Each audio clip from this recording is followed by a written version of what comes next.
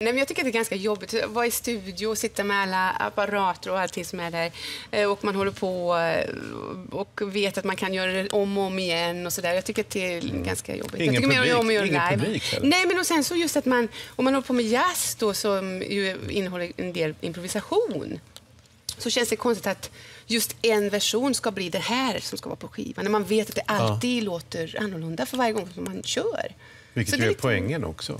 Ja. Men lik förbannat så blev det en Ja, skiva som detta- blev väldigt bra. Och dessutom har ju då inte recensenterna uppfattat dilemmat utan de tycker att den är kanon. är, är det Ja, det roligt väldigt då, roligt. efterspelet? Det, Alltså efteråt så är det kul, men det, jag tycker det är perioder som jag går igenom åtminstone som jag tänker att nej, jag kanske inte ska Ska det här bli sista gången kanske? Till och med, tänker jag så. Men sen efteråt så tänker man så här, nej, på det igen. ja, Verkligen. det är som när man har hund eller skriver bok, det är samma sak. Ja, det kanske är så. Ja. Men nu eh, ska du ut och spela nu också med den här plattan. Ja, det ska jag göra. Alltså, nu är det här med orkester, så att eh, det är ganska lång framförhållning på saker och ting. Så att det blir utspritt under de kommande åren, får man väl säga. Så att det är inte någon sån här turné som ligger... Det är svårt att turnera med en hel orkester. Så att det blir lite utspridda konserter. Vi pratade om att vi ville bli jazzmusiker. Jaha! Eh, Det var, det var du- efter det som dockan gick sönder. Det Ja, var det var att det. det utmanade någon. Ja, man behöver inte begå ett voodoo-moment på din docka. Du gjorde det själv. Jo, eh, men om du inte... eh, Visst, du är väldigt djurintresserad? Va? Ja, det stämmer. Men det var inte hund, det var hästar? Va? Det är hästar. Lever du ett häst, eh, alltså någon typ av hästliv nu? Ehm, ja, man kanske skulle kunna säga att jag gör det sedan ungefär ett år tillbaka. Hur? Jag har, nej, jag har börjat faktiskt att rida på, på ridskola då. Och jag har alltid ridit i mitt liv, men jag har egentligen aldrig tagit lektioner.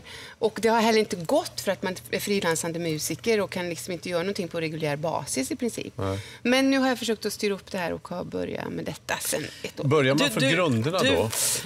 Ja, jo, men det kan man ju säga att man gör. Du uttryckte det intressant också att eh, hästar är samma sak som musik. Ja, jag tycker att det finns likheter faktiskt mellan ridning och, eh, och eh, musik. För att det kräver eh, ett totalt. För att man ska få en, den bästa upplevelsen så krävs det totalt fokus och närvaro och på något vis ja, samhörighet med, det, med de musiker eller med, med den häst man då är med. Så det tycker jag är liknande. Har du Och sagt att det till musikerna? Ja, men de, jo, Lite men de havre. förstår det. Nej, men, det. Jag tycker nog att det är faktiskt att vi, vi som eh, musiker är ganska införstådda i det här. Det tycker jag nog faktiskt. Du, den här, det var, det var ju, Eye är med på låt. Ja, Hur bra är den då? Hur var det att, att sjunga med honom? det var jätte, jättekul. Jag är väldigt, väldigt glad att han är med. Han, var, han sa ja med en gång och det var...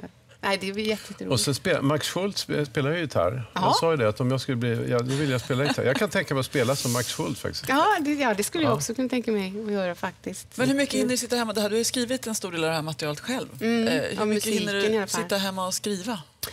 Eh, ja, det där är ju... Man får ju helt enkelt göra prioriteringar. Så det, det blir ju perioder som jag tänker att nej, men nu måste jag säga nej till annat för att, för att sitta och skriva. Men sen, alltså jag tycker att det är väldigt... Eh, och skrivmusik är, det är, så, det är så svårt att säga hur den processen exakt går till. För ibland kan det komma en låt i- som går jättefort att göra. Den här som jag precis gjorde, den tog liksom ungefär så lång tid som låten tar. Sen finns det andra låtar som tar eh, flera veckor. Eller kanske någon månad till och med. Finns det någon regel där som säger att de som krystas fram under mer så långvarigt verkarbete, att, att de blir en annan sorts visa? Ja, en annan sort kanske, men jag tycker att det är svårt att göra sådana där statements. Liksom. Faktiskt. För ibland så kan man också, man har en aning, man får en vision om någonting och så söker man det och man hittar inte riktigt. Sen så tar det en, en stund innan man, nej det var så det skulle vara. Och då kan det ta tid och då blir det, då kan det vara samma känsla som när det gick fort också, tycker jag. Är man frestad att ta genvägar då? För det finns ju alltid ett ackord som funkar på det tidigare ackordet. Ja, det gör det ju. Det finns Ehm, ju kända... Ja, nej men absolut. Ja. Alltså, och det är ju... Det, av, det är faktiskt intressant, för man kan gå in i sina egna fällor. Man, nej, men jag kan alltid... Nej, just det. Och då gäller det på något vis att vara medveten om att jag ska inte gå. Nu har Mm. jag gjort det på fyra låtar eller vad det nu må vara. Så då kanske jag ska ta någonting annat här. Och så får man söka det, liksom, för att inte bara skriva samma låt om och om igen. Det finns ju en del som lever gott Ganska många det. som gör det. Jag det. vet det. Men, eh, Vilka är dina jag- pallar då? det. Oj! Om du, någon liten ja. följd sådär. Nej, men, eh, ja, men igår satt jag till exempel när jag skrev ut den här sista låten som vi ska göra, som jag skrev ut på noter, tänkte jag så här, ah, 13 minus 9, det är ett snyggt ackord. Det är väldigt snyggt. 13 minus 9. Ja, det Låtsas är att du dominant förstår. 13 minus Ja. 9. Det är Ja, det är ett trevligt ackord. Ja, det är jättefint. Tycker jag Och så fint. bortglömt. Tycker, men det, alla ackord är ju fina i rätt ordning, eller vilken den ordning de, när de är där de ska vara, Ja. om man säger så. 13 minus 9, det var sån här håll käften-ackord. Det kommer jag här sen. Jag kan, jag kan säga det? till sen när det, efteråt, när det, när det kommer. Det får kan, så, så sa. kommer du märka det. Det var faktiskt snyggt, kommer du tänka då. Ja. Bra! Då kan du få en kaka av Ja, oss. vad, vad kommer vi få höra mer under morgonen här då? Eh, vi kommer få en låt som heter Call Me Lonely, som också är den, en låt som jag har gjort musiken till. Text av Thomas Bäcklund och Olle Olsson. Och sen så en, en gammal standardlåt, What are you doing on New Year's Eve, i slutet. Ja, vad ska du göra ikväll?